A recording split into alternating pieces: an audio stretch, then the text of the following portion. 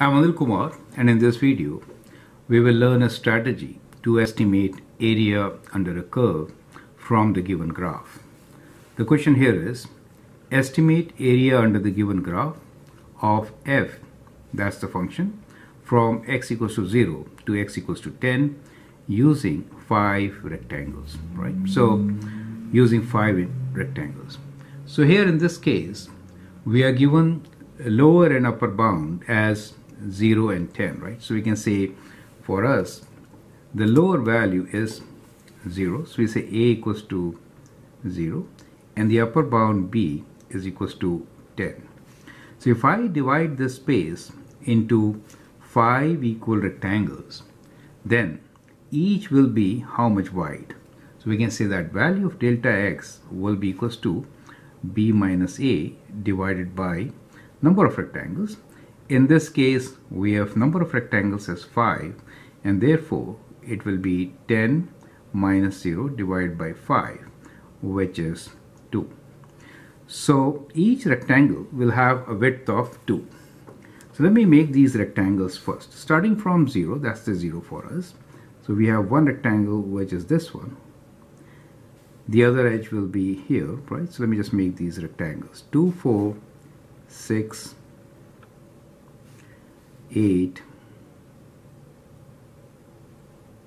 and then 10 so these are equally spaced five vertical lines whose boundary is from 0 to 2 2 to 4 4 to 6 6 to 8 and 8 to 10 now when we are estimating the area we can actually do the estimate taking left end points and taking right endpoints. Now if you take the, the left endpoint of the rectangle, then we will do the lower estimate. So let me first do lower estimate. I may be in a position to use the same figure for higher estimate also, right? So when we do lower estimate, since the curve is concave down, it will be the left endpoints, correct? So all these are very important points to remember. What does that mean? Left endpoints mean that when we form our rectangles, then, this is the first rectangle. So I will take this point as my key position. So that becomes my rectangle, left endpoint. Do you see that? That's what I mean, right?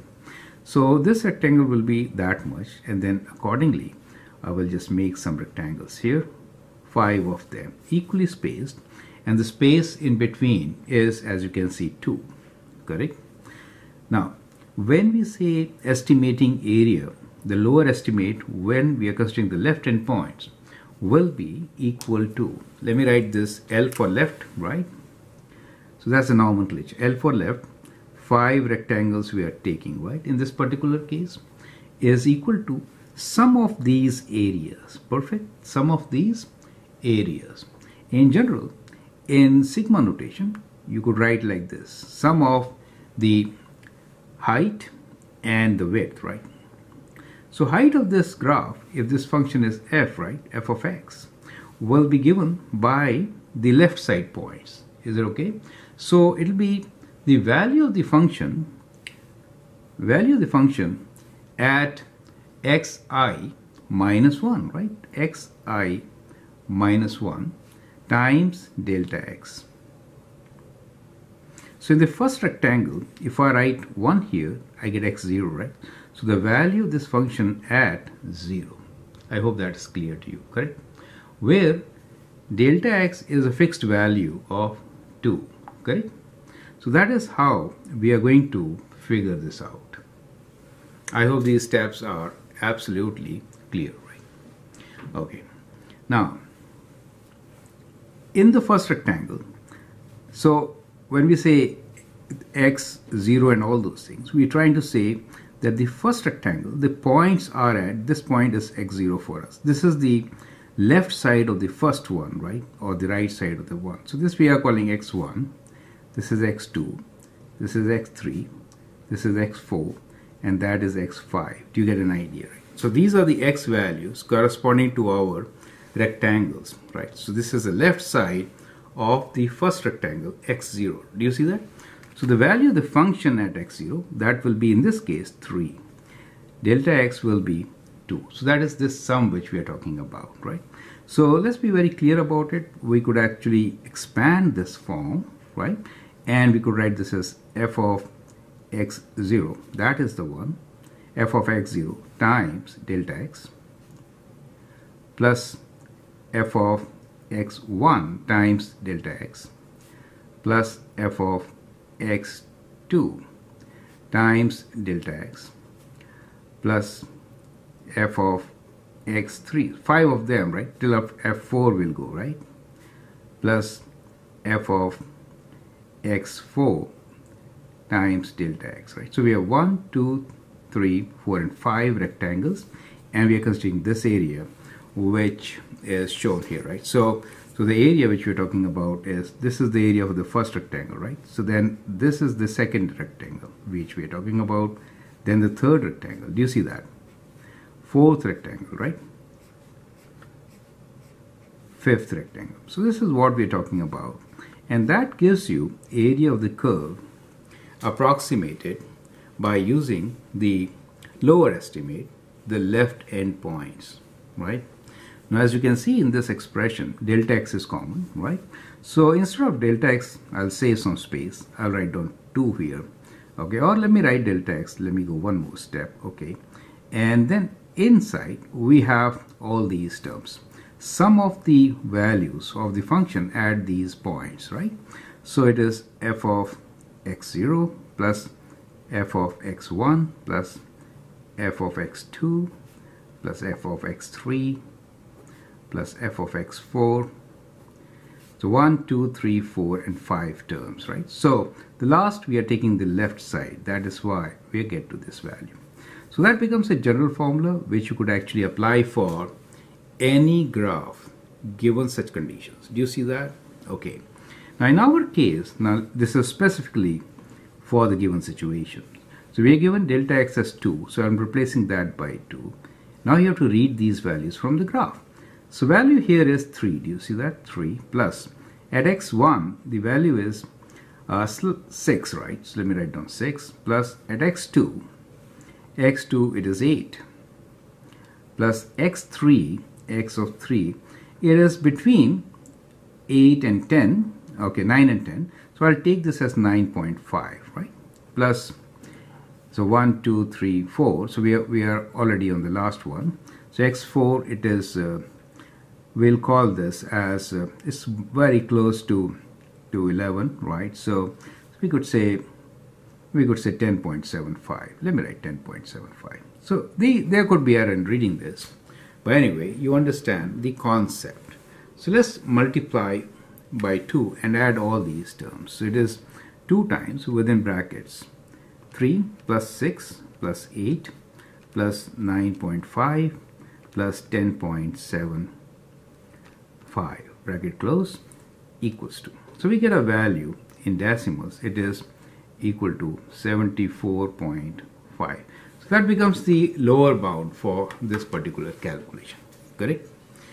And you can see from here, if you see the graph, we have taken the area which is definitely lesser than the area under the graph and above the x-axis, right?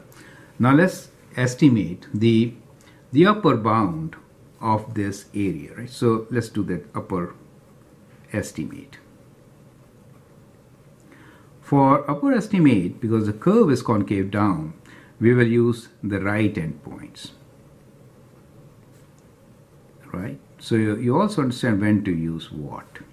So if I use right endpoints instead of L, let me write this as right, and we are considering five rectangles, right? So it is uh, same expression. I should have written i equals to from 1 to 1 to 5, right? So those are the five values which we took. So it is from i equals to 1 to 5. And now since we are taking the right side, it is x1. Do you see that? Right side of the first triangle, it is x1. So f of x1 times delta x. So width is same, right? So I mean, uh, limited xi. This is a general formula. So, so general formula xi times this. So when I expand it, at that time I get delta x is common, right? That is not changing. So I can take it outside the bracket and then inside, let me write sum of all these terms. So it is f of x1 plus f of x2 plus f of x3 plus f of x4 plus f of x5, right? So we have five terms, one, two, three, four, five. These are these five points, one, two, three, four, five, correct? So that gives you the answer. Now on the graph, it will look like what? Let me use another color. So when I'm saying x1, we're talking about now this rectangle. Do you see that? We have taken the value delta x, delta x is right there, right? This is delta x, right? This value is delta x and f of x1 is that value.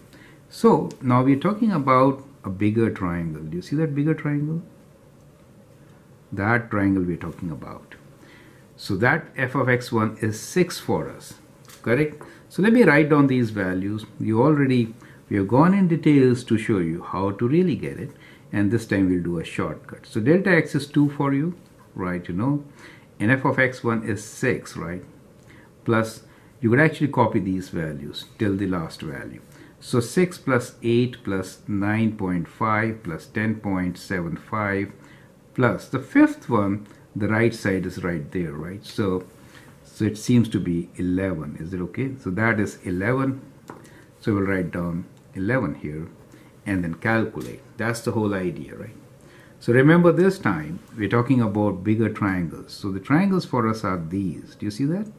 So definitely, as you can see, I'm lightly shading now since we are overlapping from the previous one. Normally, uh, you will see uh, different graphs for these things in your books and you should also draw different graphs. Uh, so right hand we are talking about, correct? So this is this is how it is, correct? So, so that is how these uh, uh, rectangles will be, five of them, and that's the top one, right? That's the top one. And you can clearly see that the area bound by this right side is much bigger than the previous one. So it is always the upper estimate when the graph is concave down correct let's calculate the value now so it is 2 times within brackets 6 plus 8 plus 9.5 plus 10.75 plus 11 bracket close equals to decimals it gives you a value of 90.5 is it okay? So 90.5 so the value of the area we can say is between these two values correct? So that's what you get. So the right side is this. So the actual area will be uh, let me write down here in a different ink. So we got in unit squares the area is 74.5 and 90.5 so we can say area is is greater than equal to the lower bound of 74.5 unit square of course and 90 0.5 right? At times you may be required to check the middle value right? So middle values normally will give you most accurate result right? The most accurate result will be from the middle values. You can see for yourself from the diagram at times you can also find the average of these two to estimate a better value of area while in this particular case we were interested in finding the estimate under the given curve. So what we did was really two estimates we took and we're saying the area is somewhere between between these, right? Anyway, I hope you understand this process. It is very, very important process. The steps involved are standardized and they are given different names also at times. And you could also, as I said, take a center value to find the estimate of this particular area under this graph.